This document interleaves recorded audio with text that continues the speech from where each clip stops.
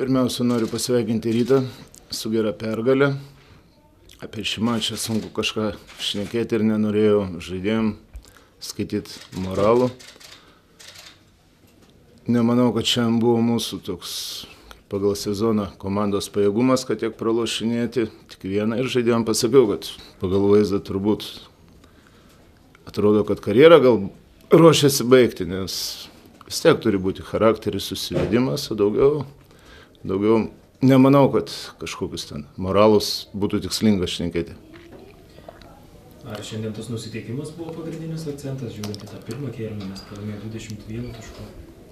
Nu, pirmam kelinį iškart mačiau, nes komanda pradėjo absoliučiai nepataikyti ir tikrai nu, buvo geri metimai, bet pagrindas vėlgi nesusigynimo, paskui paprasčiausiai matau, kad rankos nusileido, jau kovos nebuvo jokios. Beveik visus taškus pelnęs. Ta, tai yra problema jūsų atsarginiai, ypatingai šioje serijoje, nes tik penkis taškus šiandien. Nu, aplamai, jeigu imti sezoną, problema buvo gan tokia svarbi. Šiandien aiškiai matėsi, nes eilė žaidėjų buvo iš vis negalėjo pataikyti. Kalbant apie atkovotus kamuolius, irgi pralaimėjot, atrodo, be net 30 tų atkovotų kamuolių.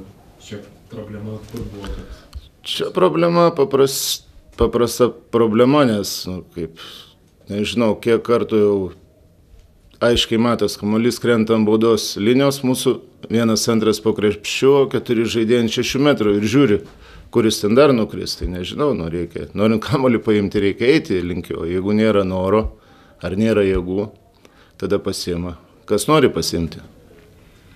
Treneriai Lietuvos rytas žengia toliau, kaip manot, kokios galimybės, nes šioje serijoje tikrai solidžiai žaidė, turbūt reikėtų sakyti. Nu, galimybės bus matyti, kaip su panežiu, sužais turi, turi stiprią komandą, turi, turi galimybės, turi daug žaidėjų, kurie turi galimybės bėgti, pataikyti. Linkiu jiems sėkmės. Kaip rezumuotumėt savo komandos sezoną? Sezonas, sunku pasakyti, iš BBL pusės liktai gerai buvo, išėjom į finalą, gaila, kad nepavyko laimėti.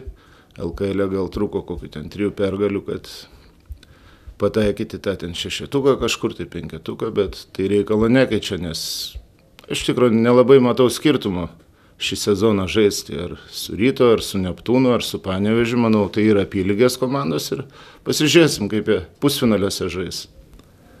Ar dėl savo ateities e, žinot, ką nors? Nu, tikrai ne šiandien šnekėti apie ateitį. Tikrai nežinau.